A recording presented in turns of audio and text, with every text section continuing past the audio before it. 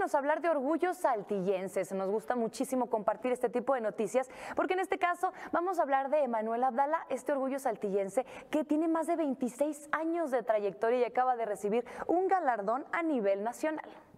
Originario de Saltillo, el cantante con 26 años de trayectoria en los escenarios, detrás del micrófono y componiendo música regional mexicana, Emanuel Abdalá compartió con orgullo uno de los logros que no esperaba en su carrera musical, pero que lo catapultó a formar parte de los artistas más exitosos a nivel nacional. Emanuel afirma que recibir un premio en la Ciudad de México le abrió las puertas a ser reconocido a nivel nacional. El galardón Music Award lo entregan a cantantes y grupos que destacan en la cuestión de la trayectoria artística Después de este galardón, que se entregó en la Ciudad de México, ellos mismos lo propusieron al micrófono de oro. Este segundo galardón se entrega a personalidades destacadas dentro de la comunidad artística, política, comunidad altruista, actores y cantantes y muchos talentos más. Emanuel compartió que se llenó de mucha alegría, felicidad y que no esperaba la nominación como tal. Fue la Asociación Nacional de Compositores de México que le envió una notificación diciendo que estaba seleccionado para recibir el micrófono de oro, mientras recordaba que hace 20